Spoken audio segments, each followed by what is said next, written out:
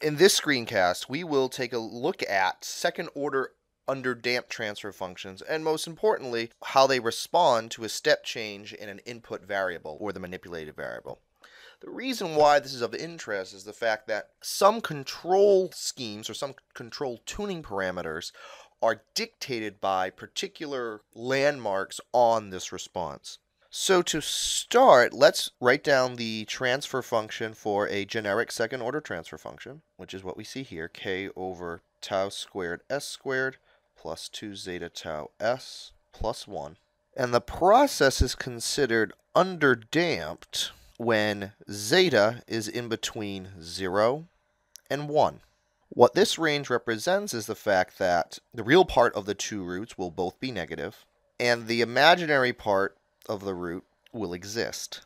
So if you recall what that means, if the root is real, that means the fact the process is stable, and the existence of an imaginary root indicates the fact that the process will oscillate. So therefore, we're going to have a stable oscillatory response. We can do the Laplace transforms for this, but the response to a step input will be the equation provided below. So as we take a look at this, we can see how this response will be stable and oscillatory. If we look at the exponential, we see the fact that the exponential part has a negative sign present, indicating the fact that since zeta, tau, and t must all be positive numbers, based on our definition of an underdamped system, we know that this will head to zero. Additionally, the term being multiplied by it is a sine wave, and the sine waves are known to have oscillations. So therefore, when we put these together, what this means is the fact that the response to the step input will be decaying oscillations.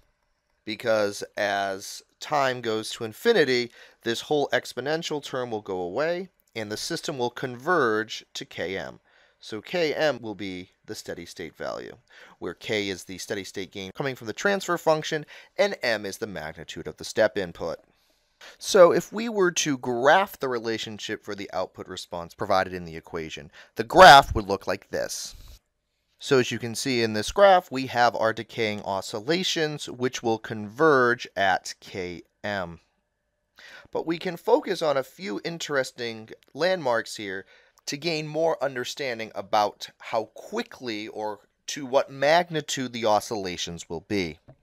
So we'll now highlight some of the landmarks on this graph that we see for a second order underdamped system. So we'll start by looking at TR. TR represents the rise time.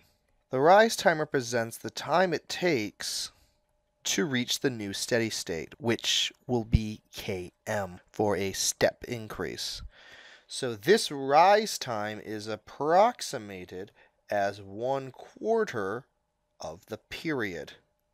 The period, here represented by t, is the typical definition of the period, which is the time it takes to go from peak to peak, can be defined as a function of both the time constant tau and the damping coefficient zeta in the relationship 2 pi tau over the square root of 1 minus zeta squared.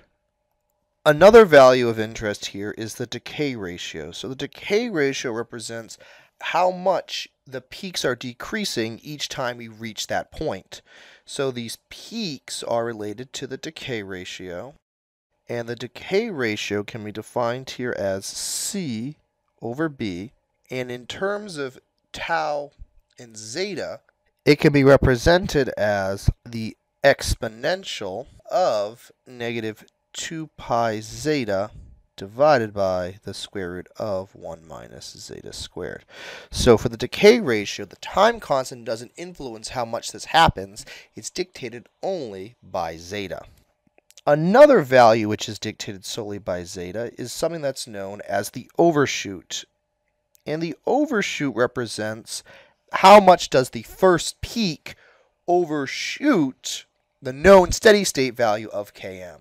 So the overshoot is defined here as b over a, where b is the distance between the peak and km, and a is the difference between where you start in km, which typically is the value km itself, because typically we start in deviation variables, and this is 0.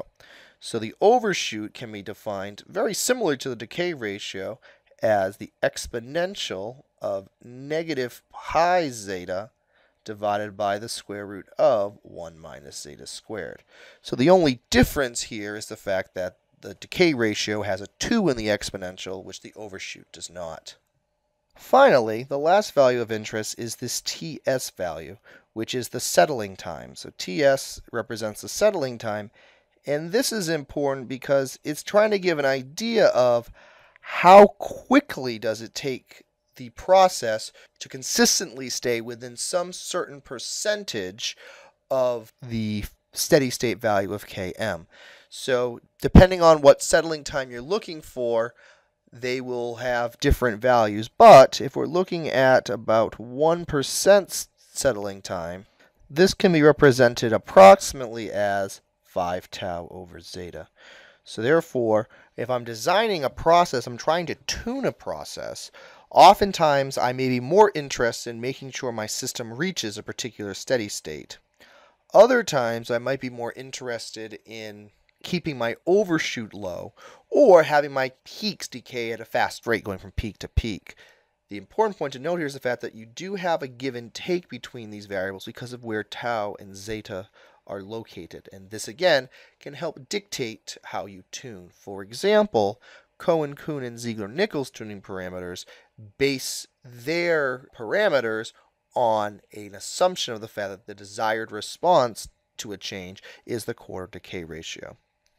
So in this screencast, we have shown the importance of the second order underdamped system with a step input response and some of the important landmarks of that response.